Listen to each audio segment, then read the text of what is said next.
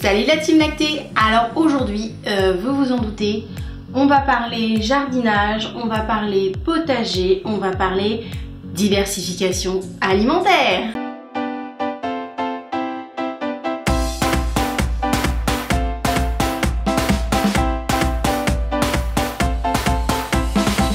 Alors, le sujet est très vaste quand on parle diversification et allaitement. De plus, tout dépend du style de diversification alimentaire qu'on va choisir.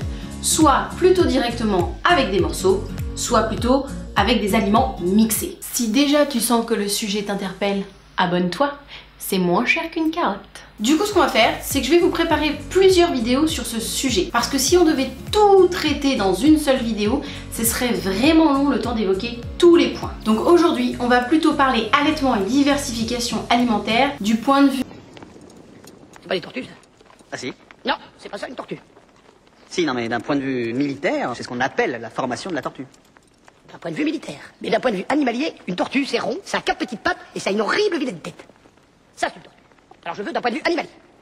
du point de vue de la question de quand commencer la diversification alimentaire quand on allaite. Et pour rentrer tout de suite dans le vif du sujet et peut-être faire grincer quelques dents sous un grain de maïs, il faut savoir que la diversification alimentaire avec un allaitement maternel est inutile avant 4 mois. Voilà, ça c'est dit, lâchez-vous dans les commentaires. Mais avant de me faire houspiller ou soutenir, je vais d'abord vous expliquer le pourquoi du comment. En premier lieu, rappelons-nous que l'allaitement maternel satisfait l'entièreté des besoins nutritionnels de nos bébés jusqu'à au moins 6 mois. Je te rappelle, ma Georgette, que l'OMS préconise un allaitement exclusif jusqu'à 6 mois, puis de continuer l'allaitement en plus de la diversification jusqu'à 2 ans. Voilà, pour rappel. Allez, on reprend. De ce fait, en allaitement maternel, la diversification alimentaire est donc inutile avant le milieu de la première année. Et donc avant ou jusqu'à 4 mois. D'ailleurs, petit fait intéressant à noter au passage, la France est en retard avec cette recommandation de diversification précoce. Puisque dans plusieurs pays du monde comme la Suède, la Finlande, la Norvège ou encore l'Australie ou l'Amérique du Nord, c'est la diversification alimentaire tardive qui est vivement conseillée. Dans l'idéal donc, quand on allait bébé, la diversification alimentaire se fera plutôt de façon douce et progressive entre 6 mois et 12 mois. Voire même l'idéal serait d'attendre que bébé manifeste de l'intérêt pour ce qui se passe dans nos assiettes, qu'il ait envie d'en attraper le contenu, qu'il ouvre la bouche dès qu'il voit une fourchette, une cuillère ou autre consort passer devant sa bouche, ou même envie d'attraper un aliment. Et surtout, qu'il sache se tenir assis seul. C'est-à-dire soit il sait se mettre assis tout seul, soit il tient assis lorsque nous sommes assis en tailleur au creux de nos genoux. Et pourquoi donc Me direz-vous? Mais pourquoi? C'est ici un indice physiologique très très clair sur l'état de maturation du système digestif de nos bébés. En effet, lorsqu'un bébé sait se tenir assis et qu'il a donc le tronc développé, c'est un signe physiologique que son système digestif est prêt à accueillir autre chose que du lait maternel. Jusque-là, le système digestif était un peu comme nos bébés, très recroquevillé comme ça, pas très déplié, et donc il n'était pas encore tout à fait prêt, tout à fait mature. De plus, le fait que bébé sache se tenir assis seul et qu'il ait donc ce tronc comme ça déplié va lui permettre une meilleure gestion de ce que l'on appelle le gag réflexe ou le réflexe de haut le cœur. À savoir que c'est un réflexe avec lequel nous naissons absolument tous et qu'il est le plus prononcé durant notre première année de vie. Ensuite, plus on vieillit, plus on aura tendance à le perdre. D'où de nombreux cas de fausse route chez les personnes âgées. Il est à noter que le maintien d'un allaitement maternel exclusif au sein pendant plusieurs mois aura aussi de nombreux bénéfices pour la santé de bébé. Oui oui, je vous entends déjà en commentaire. Je reviendrai sur les bienfaits de l'allaitement maternel et de la santé des mamans, mais dans une prochaine vidéo.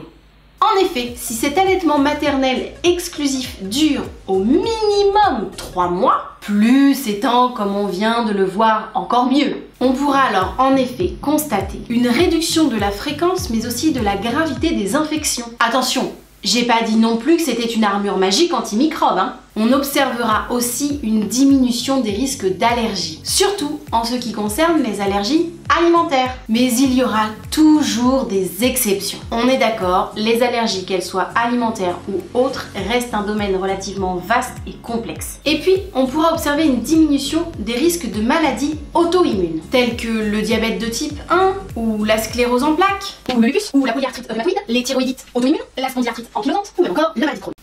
et bien d'autres. Mais si je les fais toutes, on n'est pas rendu. On pourra aussi observer un abaissement de la prévalence de l'obésité infantile voire même jusqu'à l'âge adulte. Et puis, l'allaitement maternel exclusif long va favoriser le développement harmonieux de la structure osseuse de la bouche. Comme on l'a vu dans la vidéo sur la confusion synthétine, l'allaitement muscle et développe la mâchoire de nos bébés, mais aussi leur palais, leur fosse nasale, et donc prévient beaucoup de problèmes orthodontiques. Et ce ne sont là que quelques-uns des nombreux bienfaits de l'allaitement long. Il y en a encore tellement. Pour ça, pour vous informer, je vous mets plein de références en barre d'informations. Par ailleurs, diversifier ne veut pas dire sevrer.